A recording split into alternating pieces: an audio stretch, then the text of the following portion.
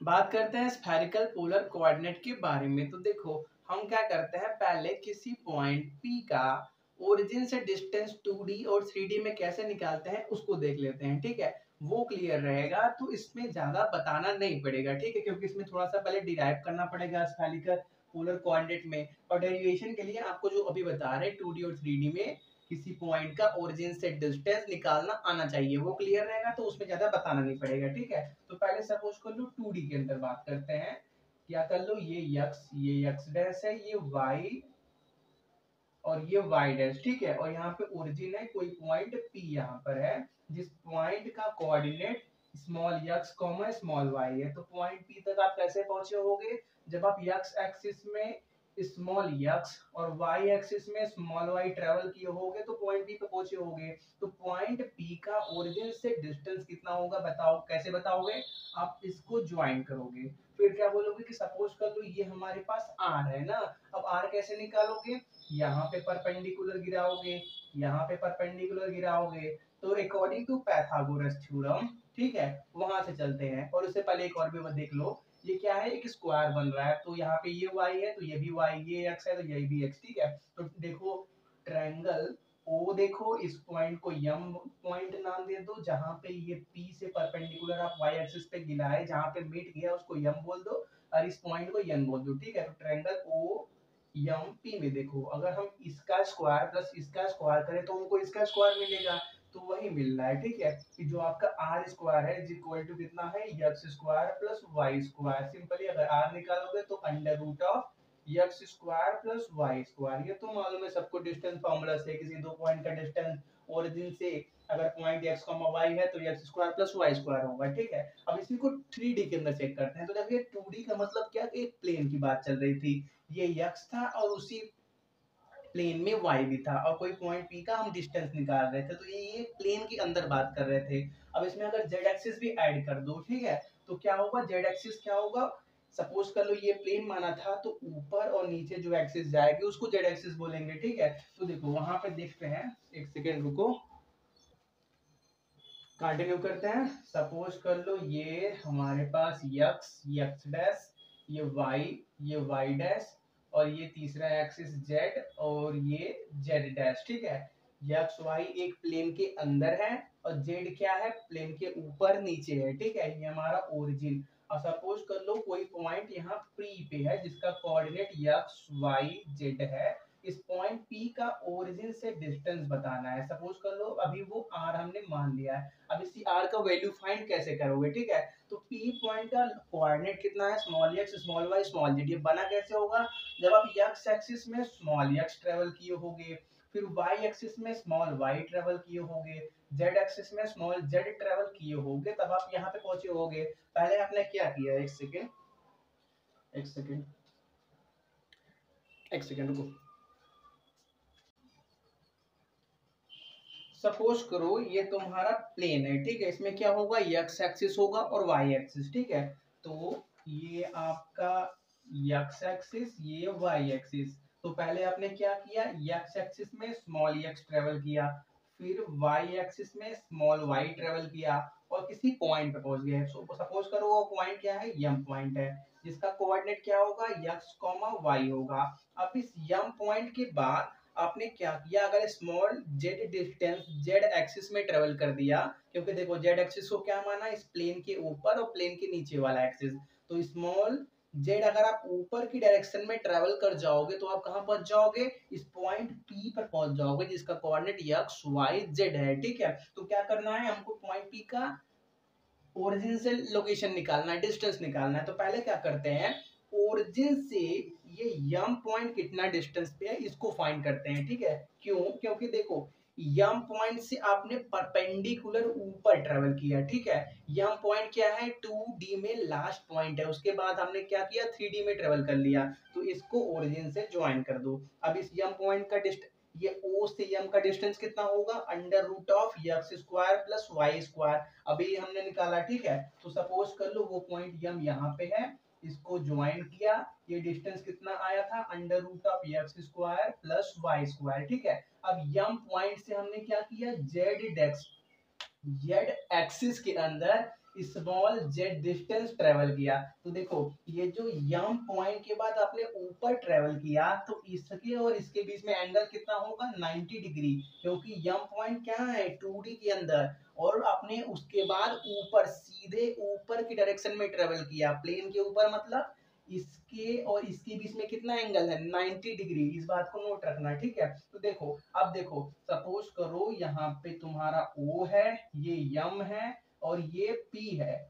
ओ से यम ये डिस्टेंस कितना है? Under root of x square plus y square M से P कितना डिस्टेंस है? स्मॉल जेड हमने मान के रखा। और ये कितना एंगल है? 90 डिग्री हमको मालूम चल गया, क्योंकि ये क्या है? प्लेन के ऊपर है।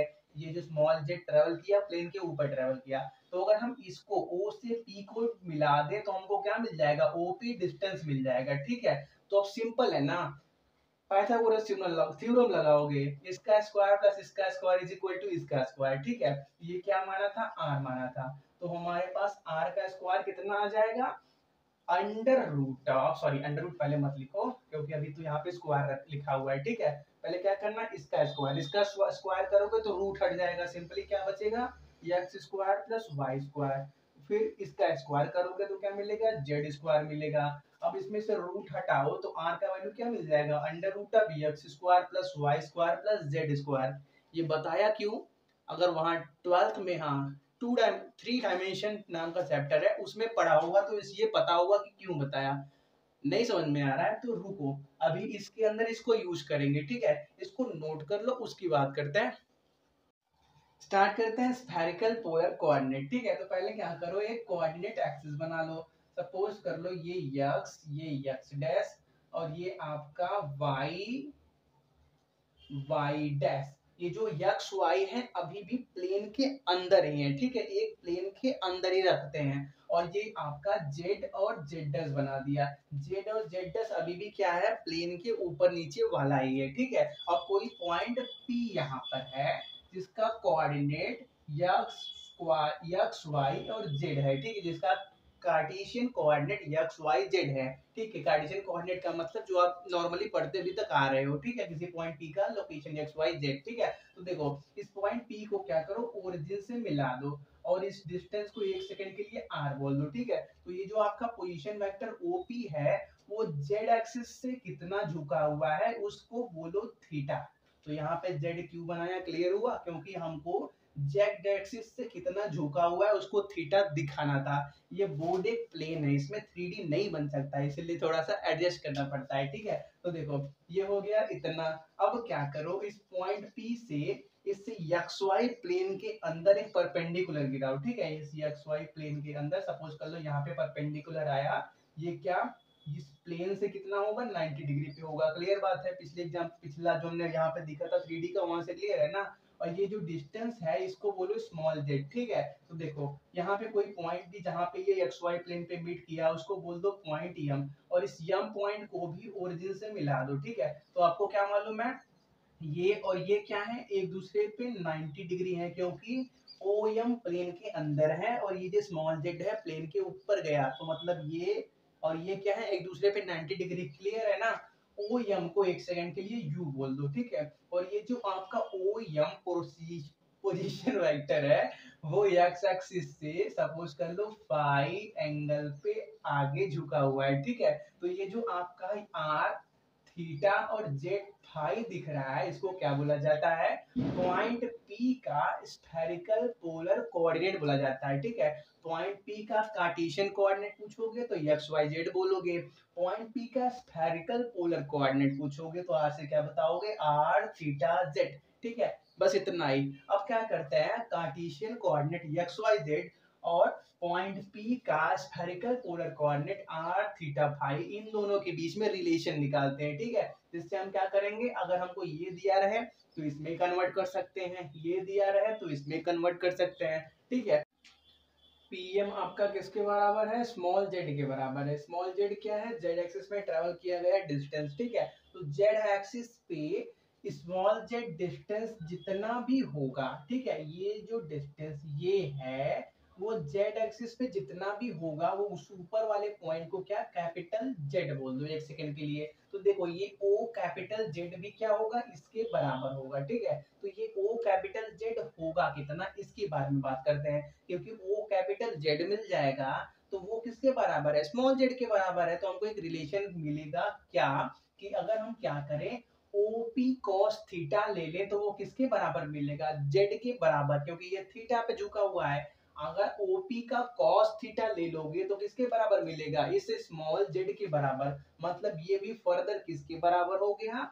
ओपी कॉस थीटा के बराबर। ओपी कितना है? आर के बराबर। तो आर कॉस थीटा मिल गया। तो हमको जेड और यहाँ पे आर कॉस थीटा में एक रिलेशन मिला कि आपका जो स्मॉल जेड है वो किसके बराबर है? आर कॉस थीटा के बराबर मिल गया। ठीक है? अगर हम बात करें अब इस ओ एम के बारे में तो ओ एम क्या है? कैप स्मॉल यू के बराबर है। तो देखो, ये जो ओपी कॉस थीटा लिया तो यहाँ मिला। अगर ओपी का साइन थीटा लोगे तो ओपी का साइन थीटा लोगे तो यहाँ पे आ जाओगे। मतलब क्या है? जो आपका ओ एम है, वो किसके बराबर है? ओपी साइन थीटा के बराबर है। ओपी कॉस थीटा लिया तो यहाँ पे आया। साइन थीटा लोगे तो ओ एम मिल जाएगा। मतलब ये किसके बराबर है? ओपी साइन थीटा के बराबर है। मतलब क्या? ये आर साइन थीटा के बराबर है, यहाँ से हमको दो रिलेशन मिल गया। तो देखो, अगर हम क्या करें, एक और बात बता लें, कि हमने क्या किया था? एक्स एक्सिस से जितना ये ओ एम झुका हुआ है, उसको फाइव बोला था, ठीक है? उसका भी निकाल लेते हैं कि यक्स कोऑर्डिनेट कितना होगा। ये जो यम पॉइंट कोई है, कोई पॉइंट यम है, जिसका कोऑर्डिनेट कुछ होगा, क्या होगा नहीं मालूम, ठीक है? तो वो कैसे बना होगा? वो यम पॉइंट प्लेन के अंदर है तो प्लेन के अंदर हमने कितना यक्स में ट्रेवल किया, कितना वाई में ट्रेवल किया, उससे बना होगा। तो यक्स एक्सिस के अलाउ जितना हमने ट्रेवल किया, उसको कोई पॉइंट बोला स्मॉल यक्स बोला। और वाई एक्सिस के अलाउ कितना ट्रेवल किया, उसको क्या बोला, कोई पॉइंट स्मॉल वाई बोला, ठीक है? तो हमको अगर क्या करते हैं, इस स्मॉल यक्स और स्मॉल वाई की वैल्यू को भी निकाल लेते हैं, ठीक है? तो अगर आप क्या करोगे ओ एम का कॉस थीटा लोगे, ये ओ एम है। हाँ एम का कॉस थीटा लोगे तो वो क्या हो जाएगा? स्मॉल जेड के बराबर होगा। अगर ओ एम का साइन थीटा लोगे तो वो क्या होगा? ये स्मॉल वाई के बराबर होगा, ठीक है? क्यों? क्योंकि यार यक्स और वाई क्या है? एक प्लेन के अंदर है और एक दूसरे के परपेंडिकुलर है। ये जेड को मत देखो, ये जेड प्लेन के ऊपर और नीचे है, ठीक है? तो क्या किया? ओ एम का कॉस फाई लिया तो ये मिला। ओ एम का साइन फाई लिया तो स्मॉल वाई मिला। मतलब आपका स्मॉल यक्स किसके बराबर है? ओ एम कॉस फाई के बराबर है। और ओ एम क्या निकला? ओ एम निकला था आर साइन थीटा मतलब ये किसके बराबर है?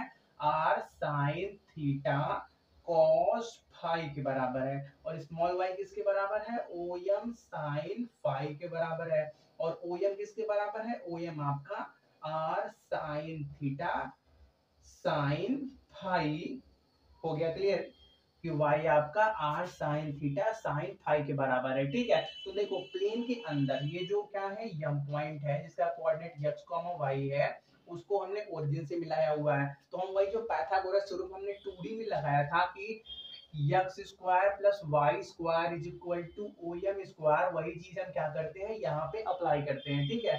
तो इसका स्क्वायर प्लस इसका स्क्वायर मतलब इसका स्क्वायर प्लस इसका स्क्वायर इज़ इक्वल टू इसका स्क्वायर होना चाहिए, ठीक है? तो क्या करते हैं? वही करते हैं।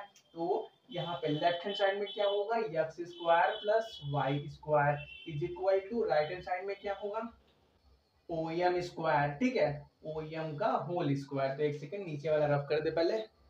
तो लेफ़्ट हैंड साइड लेको लेफ़्ट हैंड साइड को लेके आगे बढ़ते हैं, ठीक है? तो लेफ़्ट हैंड साइड क्या है? X square plus y square is equal to ये किसके बराबर है? आपका एक्स स्क्वायर मतलब क्या? R square sine square theta cos square phi के बराबर है प्लस वाई स्क्वायर किसके बराबर है? R square sine square theta sine square phi के बराबर है, ठीक है? तो यहाँ पे इधर वाले में क्या करो? R square sine square theta r square sine square theta को कॉमन कर दो। तो r square sine square theta फिर क्या अंदर बचेगा? ऊपर बचेगा कॉस स्क्वायर फाइव नीचे क्या बचेगा? साइन स्क्वायर फाइव बचेगा, ठीक है? तो ये क्या हो जाएगा? वन के बराबर। मतलब ये खत्म हो गया। तो हमको सिंपली क्या मिला? X square plus y square is equal to r square sine square theta मिला, ठीक है? तो देखो, ये जो r square sine square theta है, ये किसके बराबर है? ओ एम के स्क्वायर के बराबर है। ओ एम ओ एम किसके बराबर है? आर साइन थीटा के बराबर। उसका स्क्वायर करोगे तो ये बन जाएगा। मतलब क्या? अगर हम सिर्फ़ या आर साइन थीटा का वैल्यू निकाले ओ एम का वैल्यू निकाले तो वो किसके बराबर होगा? वो होगा under root of x square plus y square के बराबर, ठीक है? तो आर साइन थीटा का मिल गया वैल्यू आर कॉस थीटा का वैल्यू पहले निकाला था। अब क्या करो? आर साइन थीटा को, एक सेकेंड आर साइन थीटा को आर कॉस थीटा से डिवाइड कर दो, ठीक है?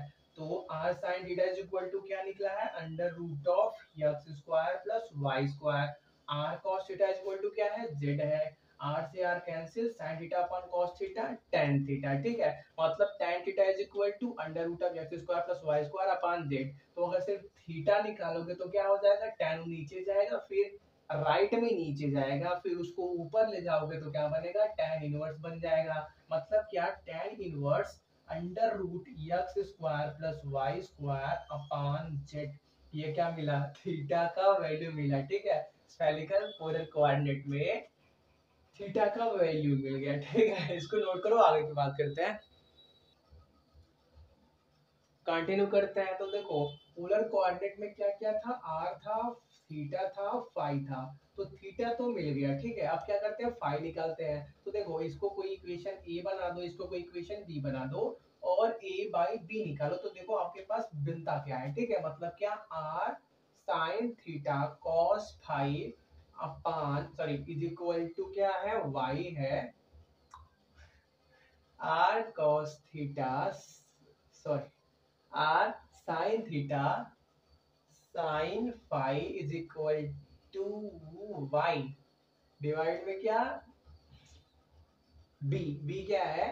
r sin theta cos phi के बराबर है। इज़ इक्वल टू क्या? x के बराबर है। आर से आर कैंसिल, साइन से थीटा से sine theta cancel. Sine theta upon cos theta, sorry, sine phi upon cos phi tan phi. तो टेन को उधर भेजो, फाई को उधर ही रहने दो। लिख लो।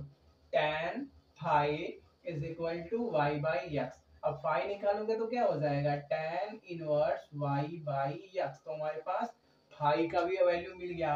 अब क्या करते हैं? आर की बात करते हैं। तो ये, इसको कोई इक्वेशन बनाओ अल्फ़ा इसको कोई इक्वेशन बनाओ बीटा अल्फ़ा और बीटा को क्या करो? पहले स्क्वायर करो। स्क्वायर करके ऐड करो तो तुमको आर का भी वैल्यू मिल जाएगा। तो अल्फ़ा का स्क्वायर करोगे तो क्या मिलेगा?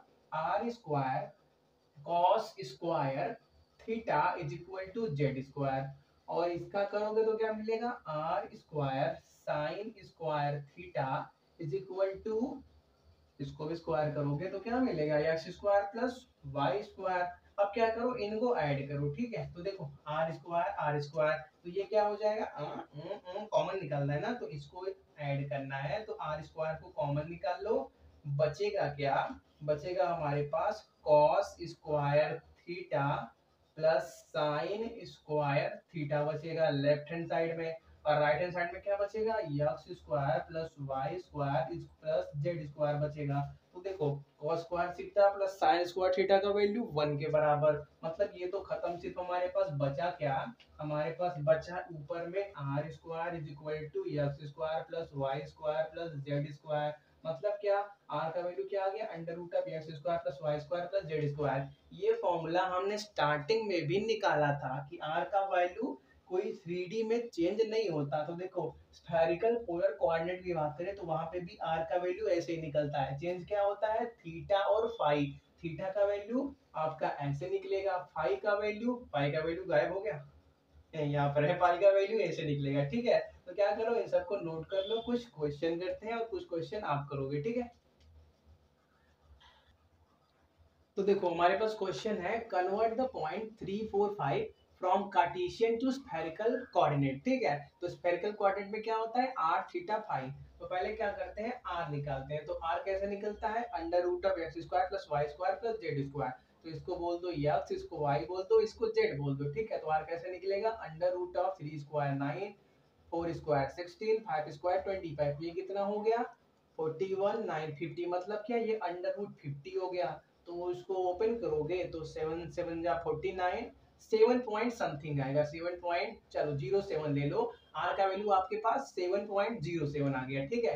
कैलकुलेट कर लेना, थोड़ा बड़ा इधर उधर होता है, ठीक है? रूट फिफ्टी का वैल्यू क्या होता है? कर लेना, ठीक है? फिर क्या निकालना है? थीटा निकालना है तो थीटा कैसे निकलेगा? आपका टेन इनवर्स और क्या? Under root x square plus y square upon z. तो यक्स क्या है? थ्री थ्री का स्क्वायर, नाइन। वाई स्क्वायर मतलब क्या? फोर का स्क्वायर, सिक्सटीन। जेड कितना? फाइव है। मतलब ये क्या? ट्वेंटी फाइव होगा। ये ट्वेंटी फाइव हो जाएगा? होगा ना। ट्वेंटी फाइव बाहर निकालोगे तो फाइव बचेगा। फाइव बाई फाइव कितना? वन हो जाएगा। मतलब क्या? सिंपली बचेगा। टेन इनवर्स वन बचेगा। और टेन इनवर्स वन किसका वैल्यू होता है? बोलो बोलो। टेन इनवर्स वन का मतलब क्या? हमारे पास थीटा इज़ इक्वल टू कितना मिला? 45 डिग्री ठीक है? तो हमारे पास थीटा कितना आ गया? 45 डिग्री आ गया। और क्या है? फाइव है। तो फाइव कैसे निकलता है? Tan inverse of y by x तो y कितना है? y है फोर x कितना है? थ्री मतलब क्या? हमारे पास ये आ गया tan inverse three by four by three इसको सॉल्व करोगे, कितना मिलेगा? थ्री बाई फोर करोगे तो थ्री वन जा three one point zero three one point three three ऐसे ही आता रहेगा ठीक है? तो वन पॉइंट थ्री थ्री ऐसे ही आता रहेगा तो क्या करोगे? अब इसका क्या करोगे? स्फेरिकल पोलर कोऑर्डिनेट लिखना चाहो तो सपोज़ कर लो ये कोई पॉइंट P था जिसका कार्टेशियन कोऑर्डिनेट ये था तो उसका स्फेरिकल पोलर कोऑर्डिनेट क्या क्या बनेगा? आ, चलो यहाँ पे चलो यहाँ पे लिखो दिखेगा ना? इसका बनेगा पहले क्या आता है? आर आता है तो आर का मतलब सेवन पॉइंट ज़ीरो सेवन फिर क्या आता है? थीटा मतलब फोर्टी फाइव डिग्री फिर क्या आएगा? फाइव मतलब वन पॉइंट थ्री थ्री आएगा। तो ये हो गया इसका स्फेरिकल पोलर कोऑर्डिनेट ठीक है? ऐसा ही और क्वेश्चन है। आप उनको सॉल्व करना करना।